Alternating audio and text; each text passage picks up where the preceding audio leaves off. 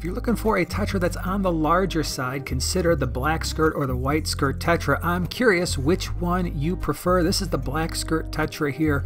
It's got a lot of nice silver with the black fins and the black bars. Now the white skirt is pretty much the same size, the same shape, the same personality, except it is a whitefish instead of having that silver and black coloration.